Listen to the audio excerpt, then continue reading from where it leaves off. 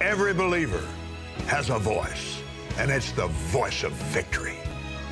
My God has made a way for me. Hello, everybody. I'm Kenneth Copeland. Welcome to the Believer's Voice of Victory broadcast. And this is my preaching buddy, Greg Stephens. Praise God. Professor Greg Stephens. I, um, I've been directed uh, by the Spirit of God to talk about the Spirit of power. So, we'll introduce him from book number one, verse number one. Yes, sir.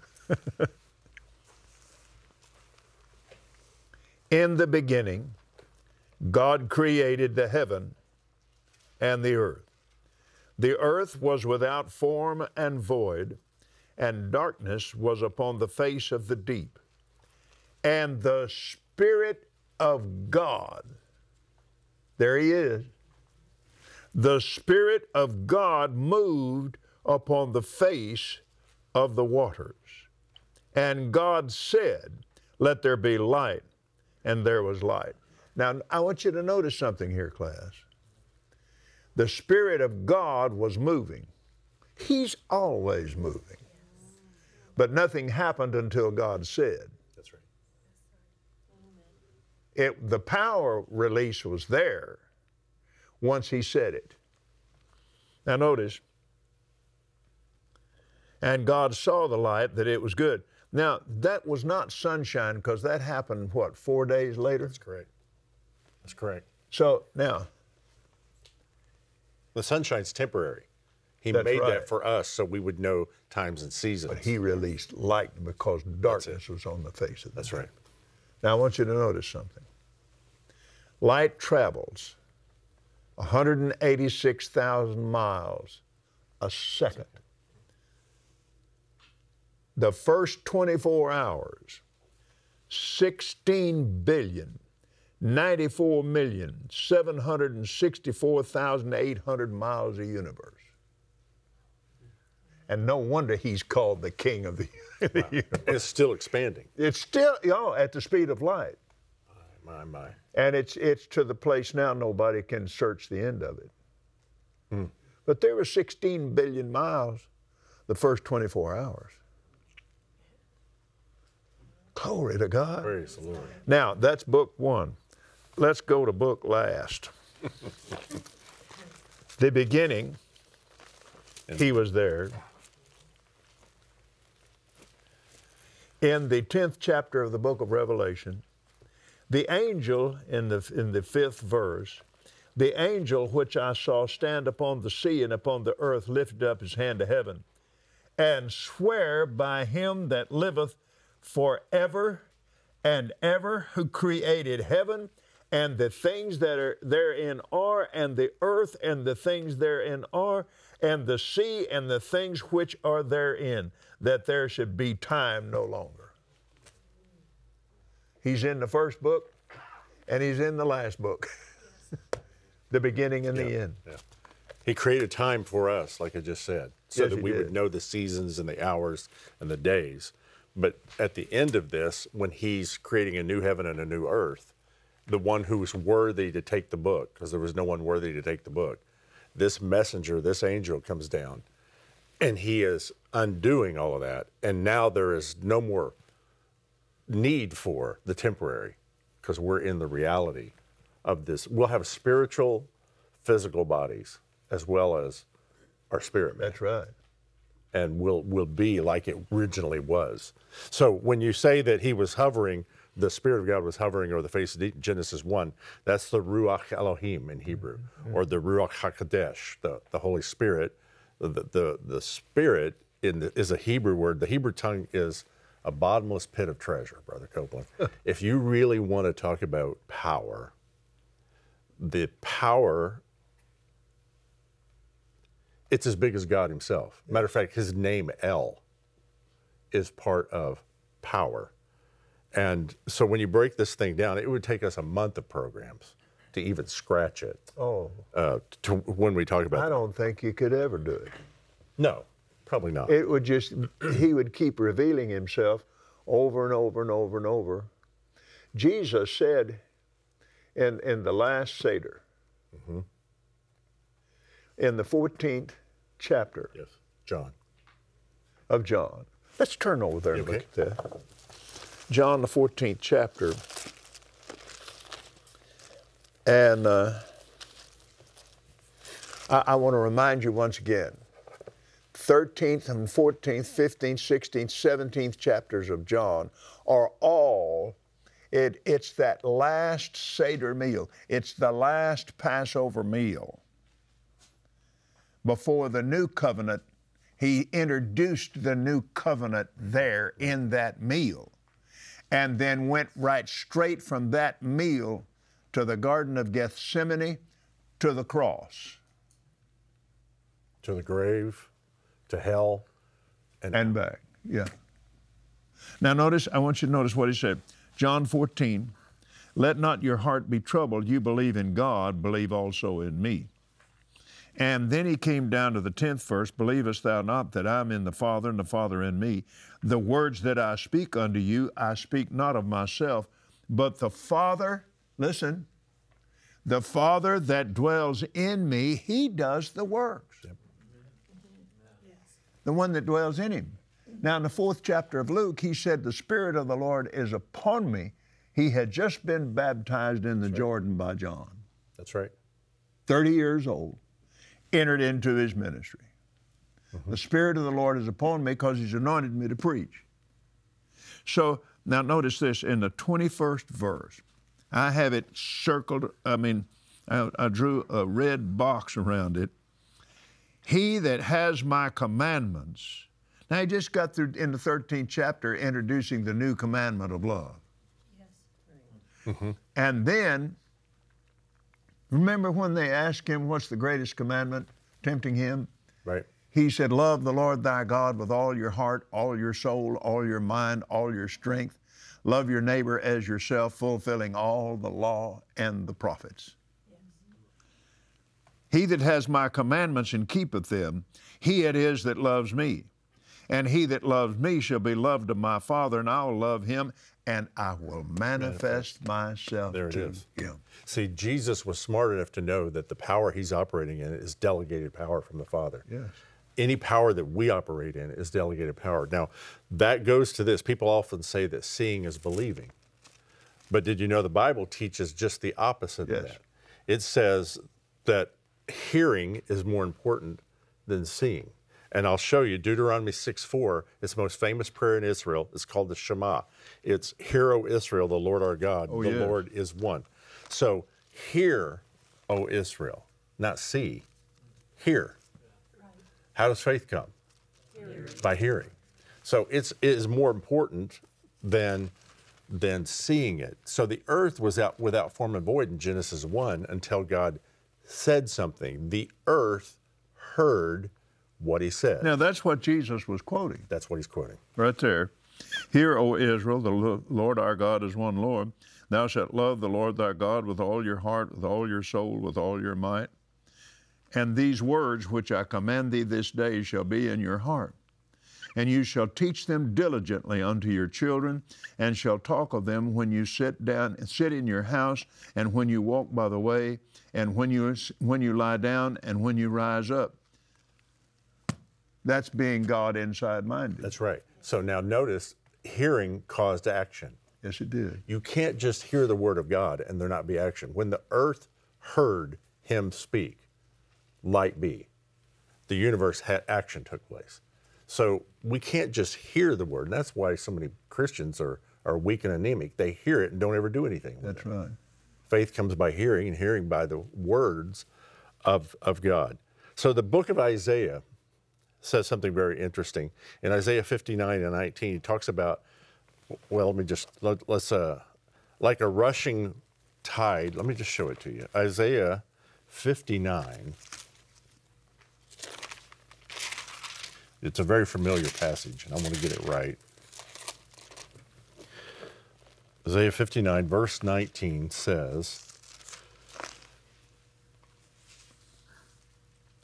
the enemy when uh, halfway down the verse when the enemy shall come in like a flood the spirit of the lord shall lift up a standard against him and you read that in the original hebrew it's it it alludes to like a flood like a river like a like a wash in the Now, desert people, or like a people tide have read that with the wrong emphasis. Yes. The people read it when the enemy comes in like a flood. A flood is an uncontainable force. When the enemy comes come in like a flood, the spirit of the Lord shall lift up a standard against him. that's the way god moves it's like a flood there's nothing it's like the tide you cannot stop the tide from rising and lowering I just had this thought. That's the difference between God inside minded people and power of the devil minded people. Oh, like the like a flood, the devil comes in. Well, but the Lord will raise a standard up against him. No. Praise God. When the enemy shall come in, put a comma there. Like a flood, the Spirit of the Lord shall lift up a standard against him. Now, the, the cross reference says, put him to flight. Mm-hmm. so here's that word the spirit of the lord Yes. That's the Ruach, that's the Spirit of God. Now, Paul had great insight into this new inside mindedness that we walk in when he said, um, the same Spirit Oh, yeah. that raised Jesus from 8, the dead Oh, yes. now dwells in you, he will quicken your mortal body. But he put an if in front of that. Uh huh. If the Spirit who raised Jesus from the dead dwell in you. Dwell means live, alive in you. If you don't even know he's there, don't pay any attention to him, pay little or no, or you don't ever listen, then he, he's not dwelling. He's just hanging around. Well, it's like him hovering over the face of the deep. Now, Brother Copeland, I have to put my mouth over my body, aligned with the same spirit that dwells in me.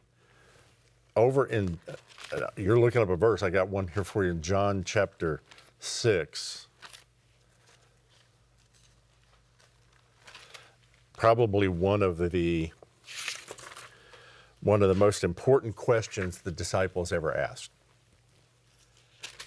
every now and then you get a you get a good one yet you, you get it right and here we go in in mark or i'm sorry in uh, john me find it here john 6 verses 28 and 29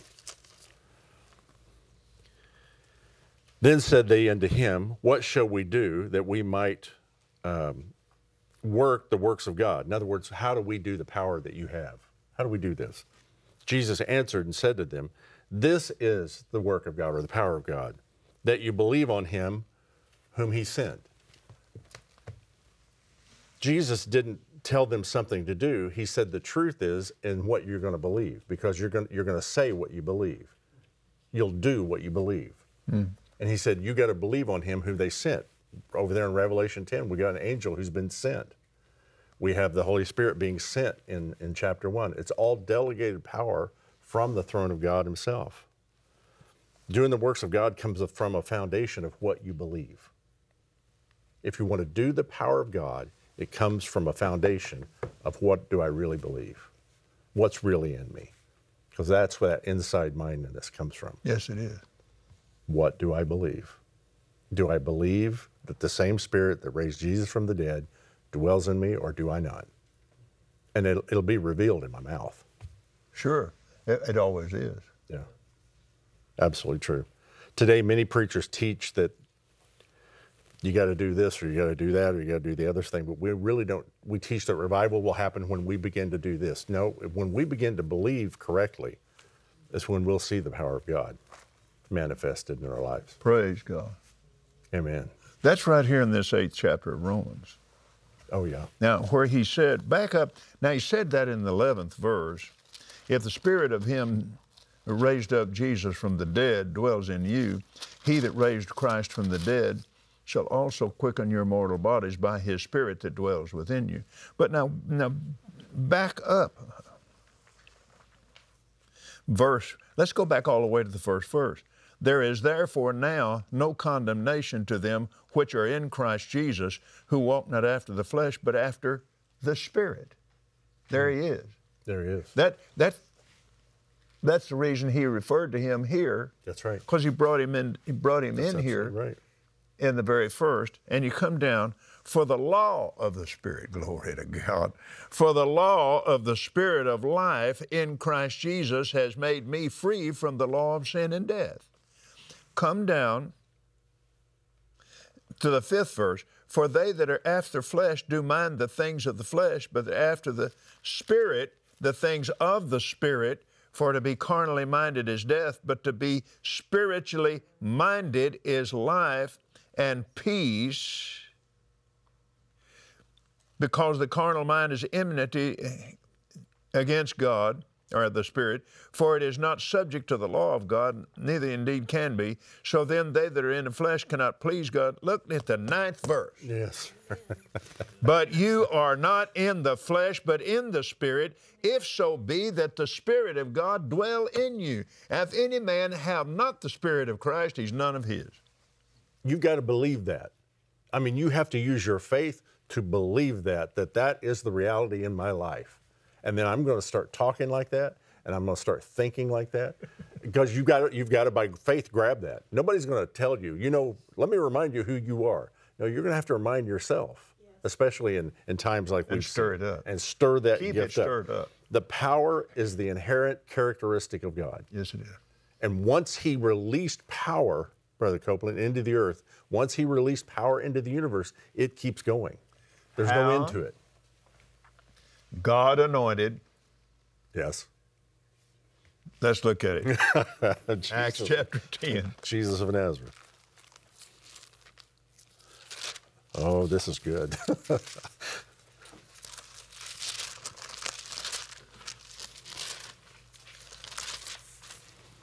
Thank you, Jesus. Amen.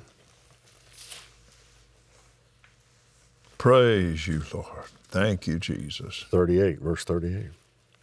How God anointed Jesus of Nazareth with the Holy Ghost and with Power. power, who went about doing good and healing all that were oppressed of the devil, for God, the power, mm-hmm. was God, mm-hmm. dwelling in him. That's right. Well, Brother Copeland, that's Jesus. We couldn't do that. No, it's God. That's right. That's right. It was God. But he can't do that through you and I. Well, when he was do it. 29, he God couldn't have done it through him. That's exactly right. He wasn't old enough.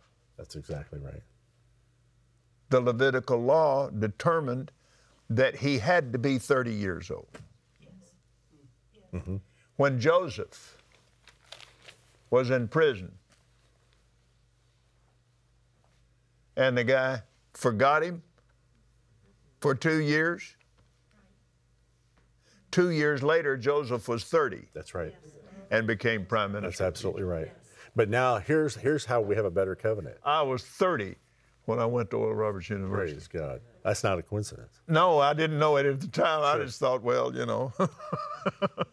but I, when I look back on it and and saw it, that was when I was supposed to be there. Now Peter's going to get up in Acts chapter 2 with this new covenant when the church was born, and he's going to say, This is that which was spoken of by the prophet Joel in the last days, your sons and daughters. See, now the Holy Spirit can reside in somebody younger than 30. That's And right. Now, see, we have a new covenant, a better promise. What did Jesus tell them? Go back to Jerusalem and tarry there till you learn how to dance in the Holy Ghost, till you learn how to get goosebumps. He said, No, go back till you're endued with, Power. And stay there till it happens. stay there till you get it. Amen. That's right. And that's what's that is what's happened to us. Let me show you a verse in Romans 1. Romans chapter 1. Oh man, I'm telling you what. I'm Verse 17. For therein is the righteousness of God revealed from faith to faith, as written, the just shall live by faith. We know that. Go on down now and look at verse uh, 20 here. For the invisible things of him, taking it back to creation. Yes, sir. This is one. For the invisible things of him from the creation of the world are clearly seen, being understood by the things that are made, even the eternal power of and Godhead, so that they are without excuse. We now have tapped into that initial power through the power of God resident on the inside of us. Paul's telling us you now have tapped into the very power that allowed Jesus to do all the miracles he did. You've tapped into the power that was that was in creation, and you've tapped into the power that's be in Revelation 10 in the future Praise. when he creates a new heaven and a new earth. What we were talking about. When we were born again in Christ, because we're in Christ, we now walk in this delegated power, Brother Copeland, the same power that was from the very beginning. Mm. It's the power of God. Yes, it is. Elohim inside us. El is a construct of the many names of God. Why, by construct, that's a theological term in Hebrew. That means you add things, you construct things to it. El Shaddai, um, uh, El Elyon, uh, El itself, the Spirit of God, El Ruach. El means power, might, strength. It's two letters. It's Aleph Lamed in Hebrew. Uh, we would say A and L if you want to in English. It's in the ancient Paleo Hebrew, they were all were pictures. So here's the ancient Paleo Hebrew. The Aleph is a bull, meaning strong. It's the first, it's the strength, it's the power. And the Lamed looks like a shepherd's staff. Praise God. So this Authority. authority. That's exactly what it is. The authority of the shepherd's staff to rescue, to guide, to do whatever he needs to do. So the strong one with authority. My God, that's El. yes. He is the ruler, Now- supreme ruler with authority. Uh, Greg, I have noticed that Jewish people do that. Mm-hmm. They will. They won't say, like like if I mention John, I just say my son.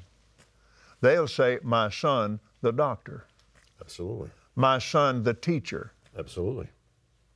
Absolutely. The, my son, the rabbi. Yeah, They, they follow the suit of that. they, they absolutely do. And, and we've kind of missed that. That's part of the blessing. Yes, it is. part of the covenant blessing. The, the kids are expected, they were born Jewish, they'll be Jewish. They'll marry Jewish, their, gr mm-hmm. their children will be Jewish. You know, they, they, they have that expectation of their children. They don't let them decide on their own. As, as a whole, I'm painting with a broad paintbrush here. But it's part of the covenant, and this is part of our covenant. We have been given power, full supreme authority because that L word has authority with it. This is the authority of the believer. And Brother Copeland, I think so sad, and I've seen so many of it when I when I was a pastor. People trying to walk in the authority without having any understanding mm-hmm. Of how it operates, without having any understanding of God inside mindness. Really, what they're trying to do is a self-help type thing. It's all what Brother Hagin used to call mental assent. Yes, and it's not coming from their spirit man. it sounds like faith. Yeah. It looks like faith, but it's coming out of the mind, out of the soulish realm. But when it comes out of the spirit, well, that has the heart, breath because he Yes. breathed into him and man became a speaking spirit. That's right. Because when it comes out of the breath of God at that point, But the way he breathed in him was by speaking words absolutely right. into his face. Yes. you saw that. Yes, I did, very plainly. I had a vision of it, and um, and and I, I had gone along with the things that I saw where he just God just formed him up out of the dust. But we're out of time. We'll talk about that tomorrow. Amen. Amen. We'll be back in just a moment. Glory to God.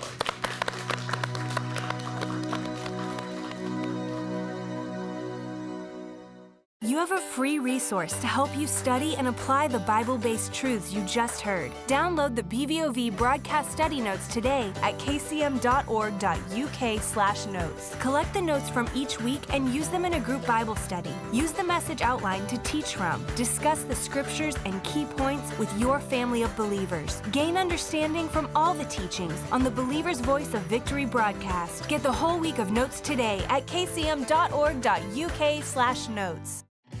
Are you done with tolerating defeat in your life? Here's the good news you can live free from all the baggage of the enemy. You can even demolish burdens in the lives of those around you. How? Through the power of God's anointing. In the audio series, The Power of the Anointing, Kenneth Copeland guides you through Scripture to reveal the truth about the anointing and what it can do for you. You will learn exactly what the anointing is, the benefits that the anointing holds, and how to use the power of the anointing. This anointing carries all the power and benefits that Jesus came to deliver joy, healing, freedom, eternal life. You can do all things through the anointing. Imagine dominating hurdles in your life and achieving success, and having the same type of impact that Jesus did in lives and circumstances everywhere you go. Freedom and success are all wrapped up in the anointing, which is Christ in you. You can live victoriously in every area of your life. Let God's burden removing, yoke destroying power completely set you free. Request your free audio series, The Power of the Anointing by Kenneth Copeland, on kcm.org.uk forward slash TV special, or when you call 01225 787 310. This free offer is good for 30 days. Postage charges may apply. Contact your regional office today. Don't forget to get the study notes at kcm.org. Thank you for being with us today. We'll see you tomorrow, right? You will be here tomorrow? Okay, good. I'm glad you said that. And until then, remember this God loves you, and we love you, and Jesus, is Lord. Amen. Praise God. Thank you, Jesus. Let the Word of God build your faith. Kenneth Copeland calls kcm.org.uk your study center. You can watch, read, and share faith based content and teaching resources available to you free. This year, experience wide open faith at the Southwest Believers Convention, right here in the beautiful city of Fort Worth in the great state of Texas. You tend to yourself and you show love and you show compassion and you walk strong and you walk right because power follows that. Power follows holiness. Power follows righteousness. Power follows it. The power to deliver. The power to stand healed and whole and well. The power to have plenty. The power to be supplied. The power to snatch people out of hell follows a church that is separated unto Him. We are supposed to be praying, and I'm not supposed to be preaching, but I cannot help myself. This year, experience wide open faith at the Southwest Believers Convention. So come get a taste of Texas and save the date for August 1st through the 6th for the Southwest Believers Convention. Register today at kcm.org slash southwest. Hallelujah.